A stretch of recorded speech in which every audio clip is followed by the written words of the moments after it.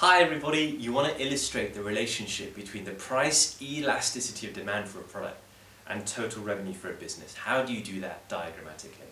Well, you need to draw two diagrams. On the left you're going to draw a demand curve which is price elastic. On the right, a demand curve that's price inelastic.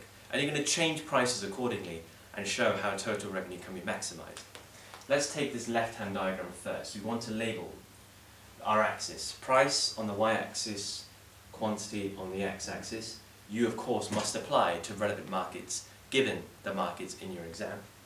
And you want to draw a demand curve that's pretty price elastic. Alright, so quite shallow right here. Take an initial price and call that price P1 and a quantity matching Q1.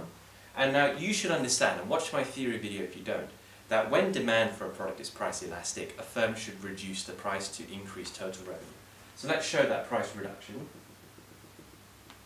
uh, from P1 to P2 and the quantity increase from Q1 to Q2. What we've shown here is that quantity demanded is increasing proportionately more than the price decrease. That's just what price elastic demand is all about.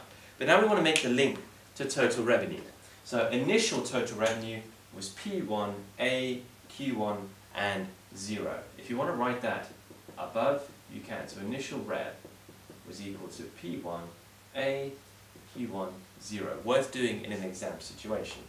Whereas new revenue is now price times quantity P2 B Q2 0.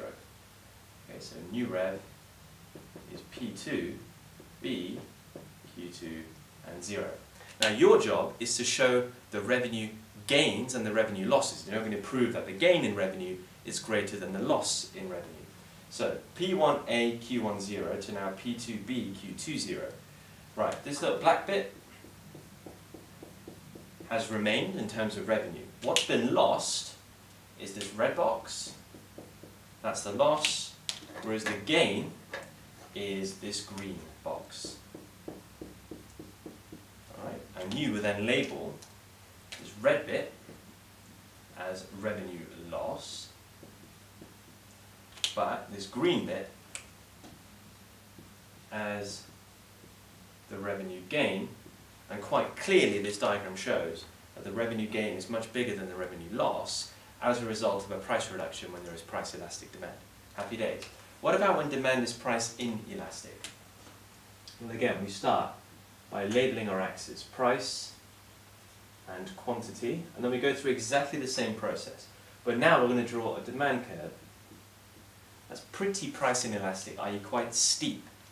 You want to show an initial price, call that P1, and with that price a quantity of Q1. Again, from my theory video before, you should realize that when demand for a product is price inelastic, a business should raise the price to increase total revenue. So let's show that. Let's take a price rise from P1 to P2, increase that price. And you'll see that demand does decrease, but proportionately less than the price increase. And again, we want to show initial and new revenue. So initial revenue was P1, A, Q1, 0. New revenue is P2, B, Q2, 0. Yeah? Price times quantity to work out revenue. So let's quickly write that in. So initial rev is equal to P1 A Q1 0, whereas new revenue is equal to P2 B Q2 0. Do the same thing. What bit of the revenue has remained uh, in both instances? Well, this black bit has. Absolutely. Let's work out a revenue loss, which in this case is this little rectangle here, whereas our revenue gain is a much bigger box in green. And again, what we do is we label, so we can label that the revenue gain, and we can label this red box the revenue loss.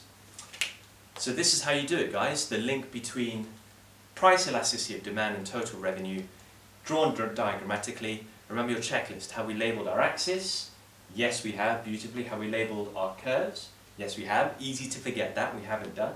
Have we labelled our equilibrium? We don't have any equilibria, but we have got prices and quantities to label. We've done that very clearly, and we've shown and labelled all the revenue gains, losses, etc. Beautifully done, lovely. Practice this and you'll be absolutely set for your exams. Thanks for watching. I'll see you all next time.